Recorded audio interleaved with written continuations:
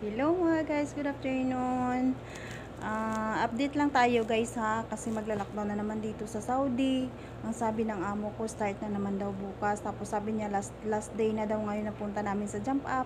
Pero sabi ko, nakakatuwa din na hindi na naman lumabas pero nakakabakok na naman dito sa bahay. Mga pasaway na naman yung mga bata. Tapos pag nandito sa bahay, maya-maya utos, maya-maya kain, maya-maya kung ano yung mga ginagawa, ligpit ka dito, ligpit doon, tapos yung amo mo pag nandito, utos dito, utos doon.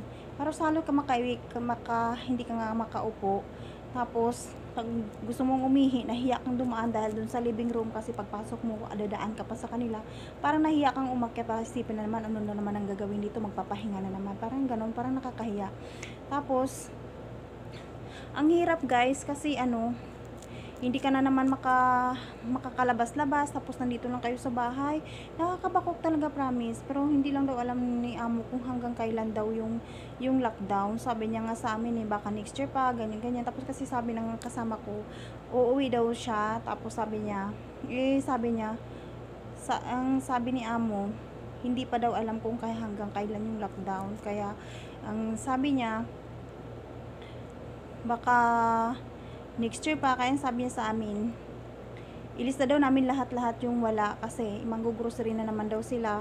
Baka ilang buwan na naman yung walang lock, mag, mag-lockdown na naman. Di wala na namang ano um, hirap na naman daw mang-grocery. Kaya ang sabi niya ilista nyo lahat-lahat.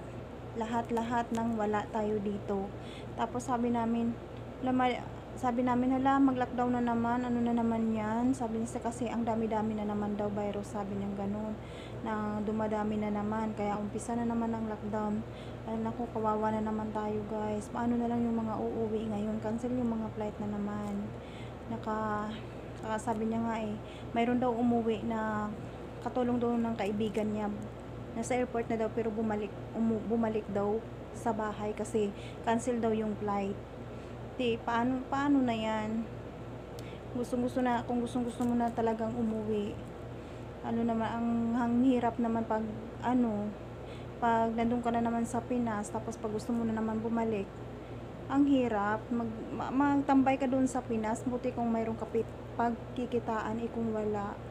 Kawawa talaga guys. Yung mga gusto ngang bumalik dito ngayon paano na tambay na sila sa agent sa Pilipinas pag lockdown na naman. O ngayon mag-start na naman bukas paano na lang yung mga gustong bumalik.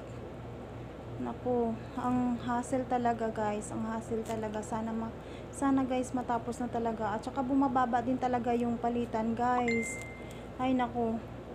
Dati magkano pa? Higit 13 pa yung palitan. Ngayon 12 12 ano na lang nung naghulog ako 1261 na lang. Ano ba yan?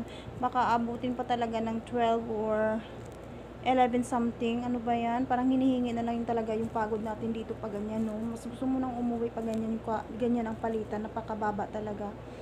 Tapos ngayon marami marami guys na hindi sinasahuran ngayon nang, nang mula nung nag-lockdown talaga. Mayroon nga ako nakaibigan ni sa kaibigan ng klase ng alaga ko. Ilang buwan na sila walang sahod, guys. At saka yung sa kapatid ng alang am ng amo niya, tumakas na dahil nga ilang buwan na walang sahod, wala pang kain, ganyan ganyan. Mas maoki pang tumakas kapag ganyan, 'di ba? Kasi hindi ka pinapakain.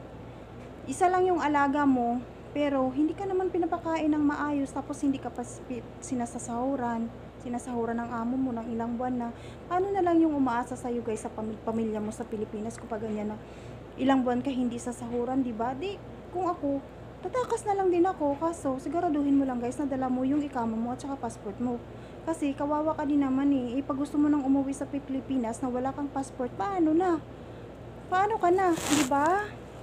Kaya guys, ang hirap talaga, ang hirap, ang hirap. Kaya parang simula na ngayon, nung mula nung nag-lockdown talaga na, ang, nag, parang naghihirap na talaga yung Saudi guys. Naghihirap na talaga sila, ang dami-dami na hindi sinasahuran. Buti nga kami, swerte pa din kami dahil nga kahit na nag-lockdown eh, tinaasan pa rin yung sahod namin. Tapos, hindi pa nag, hindi nagde-delete yung sahod namin. Kaso lang yun lang guys, parang nagbago lang ang mga, uga, ang mga ugali nila. Pero, okay lang talaga. O, okay lang matitiis naman, hindi naman sila nananakit. Sakto naman ang pagkain, okay naman sa pagkain. Wala ka, wala ka man naman kami masabi para sa mga pagkain namin. Okay pa naman. O, o ngayon mag-start na naman ang lockdown. Lagi na naman mainit ang mga ulo ng mga amo dahil nga din dito lang sa bahay. Tapos maya maya kain, mamaya kain. Tapos may utos dito, utos doon. Ganun. Parang hindi ka hindi ka talaga makapahinga, guys. Mas mas okay yung nakakalakalabas kami. Kasi siyempre yung mga alaga mo habang naglalaro sila, ikaw nanunood lang, 'di ba? Nakaupo ka lang doon. Tapos eh pag nandito sa bahay, hindi ka pa nakaupo ng 5 minutes. Ayan na, ayan na tawag na naman, taali, taali. Oh. Paano na? Ngayon na naman, umpisa na naman tayo ng lockdown. Pero sabi na mo, tindis lang, tindis lang naman guys. Pero, yung wag lang natin aasahan na tindis lang kasi hindi naman agad-agad nawawala yung virus, di ba? Ti, lalo pang dumadami kasi may pangalawang virus na naman daw, kaya ganun. Kaya okay na sana noon kasi konti na lang sana yung corona coronavirus 90 na yun, kunti na lang sana. Tapos itong bago na naman ngayon, yun ang dumadami na naman ngayon, sabi ni Amo. Sabi niya kaya ano, kaya ingat-ingat talaga tayo guys paglabas. Alam mo, ako takot na takot talaga ako lumabas dahil nga syempre hindi natin alam, 'di ba? Hindi natin alam. Kaya ngayon pag pag pumupunta na kami ng palaruan, hindi na siya pwede guys na wala kang mask.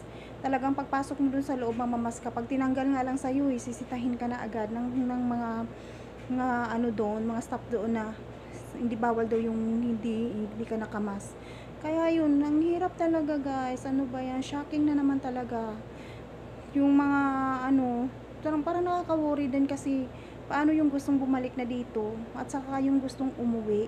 Ako nga gusto ko na rin umuwi eh kaso matagal-tagal pa ako dito at saka iniisip ko sana baka baka baka matapos na rin yung yung ano lockdown pag pag nakauwi ako. Pero pag hindi pa talaga matapos ang lockdown, sky, ayoko talagang umuwi kasi iisipin mo, 'di ba? Mag magwaranting ka doon sa Pinas sa di doon sa Maynila ilang ilang araw. Tapos pagdating mo doon sa lugar niyo ganun din. Kaya kaya yung i-warranty mo doon dito ka na lang magtrabaho may sahod ka pa di ba?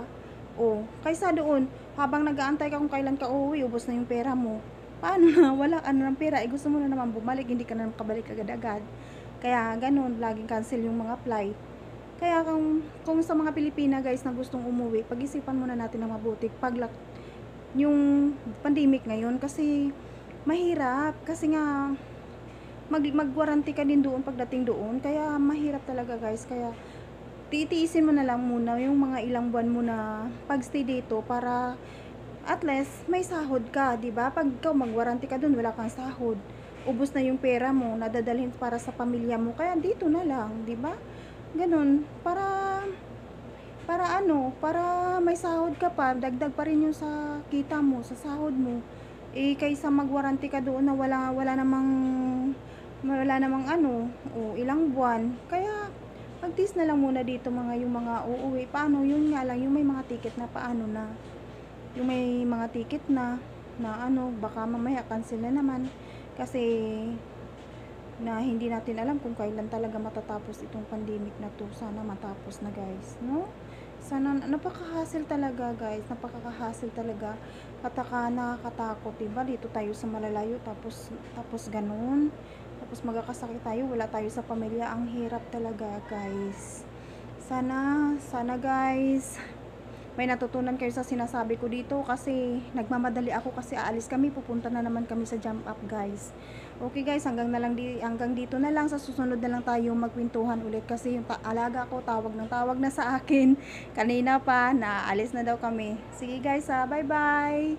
Please guys, subscribe my channel and like and comment and don't forget to touch the notification bell. Bye-bye guys.